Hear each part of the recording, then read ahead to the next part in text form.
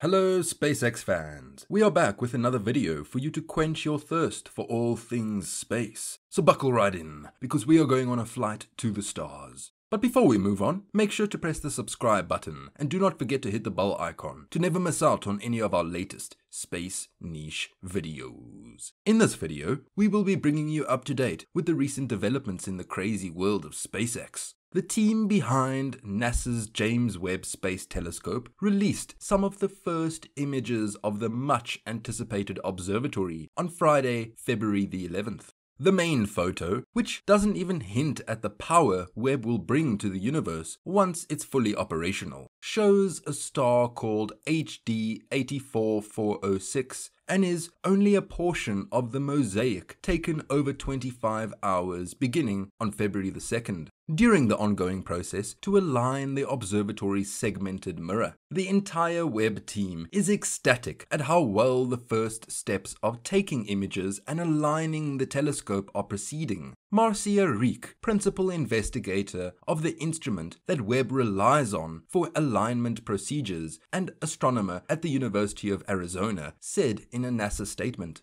The telescope spent the first month unfolding from its launch configuration and tracking out nearly 1 million miles, 1.5 million kilometers away from Earth.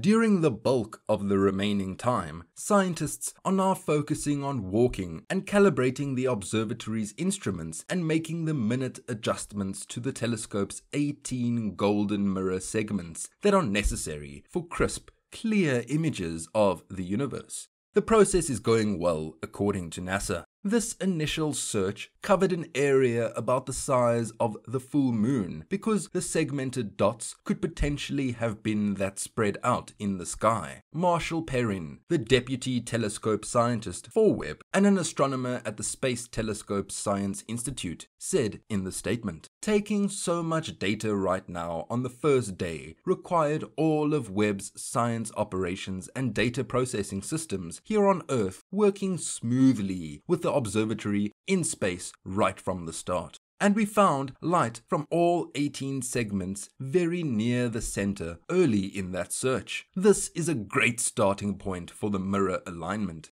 Still, the telescope has a long way to go, as the image of HD 84406 shows. The first images are going to be ugly. Jane Rigby, Webb Operations Project Scientist, said during a news conference held on January the 8th, as the telescope began the process of unstowing its mirrors. It's going to be blurry. We'll have 18 of these little images all over the sky. And the photograph does indeed show multiple views of HD 84406, the star that the James Webb Telescope's scientists recently announced they had chosen to look at first. Starlight, Star Bright. The first star Webb will see is HD 84406, a sun like star about 260 light years away, NASA officials wrote on Twitter on January the 28th.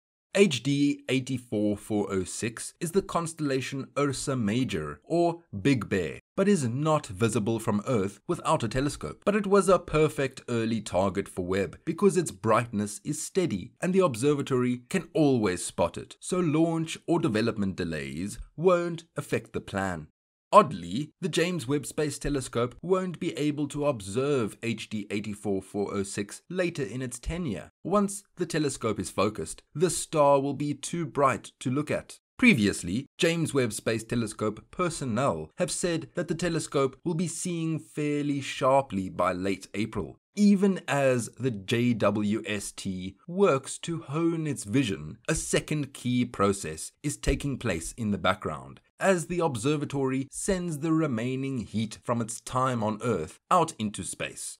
Because Webb is tuned to study the universe in infrared light, which also registers as heat, the observatory must be incredibly cold to obtain accurate data. NASA scientists expect that the golden primary mirror will reach temperatures as low as minus 370 degrees Fahrenheit, which is minus 223 degrees Celsius. Instruments must be even colder, according to an agency statement. In addition to the image of HD 84406, NASA also shared a selfie image that the observatory also took using a special lens targeting the observatory's primary mirror to assist during the alignment process. All told, scientists are thrilled about the observatory's progress. Launching Webb to space was, of course, an exciting event, but for scientists and optical engineers, this is a pinnacle moment. When light from a star is successfully making its way through the system down onto a detector, Michael McElwain, Webb Observatory project scientist, NASA's Goddard Space Flight Center, said in a statement.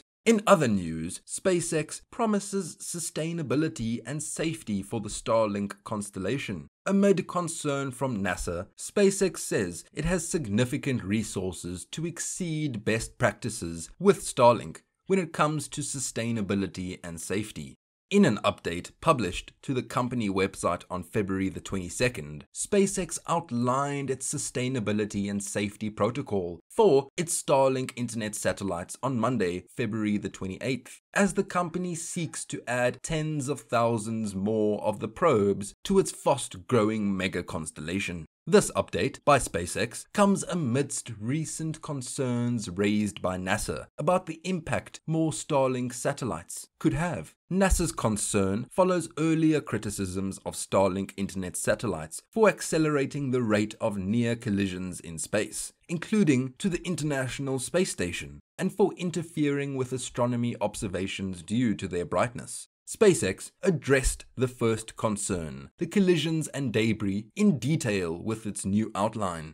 In this new statement, SpaceX promises a commitment for a safe orbital environment, protecting human spaceflight and ensuring the environment is kept sustainable for future missions to Earth orbit and beyond. The lengthy update includes SpaceX's plan of approach for current and future Starlink launches, including high maneuverability, open data sharing with other space companies, agencies, and authorities, and an in space collision avoidance system to be used as a last resort. SpaceX is leaning on advanced technologies such as inter-satellite optical or laser communications to make the best practices possible, the company said in an update. SpaceX additionally urged other operators to join us in practices such as sharing orbital data and updating key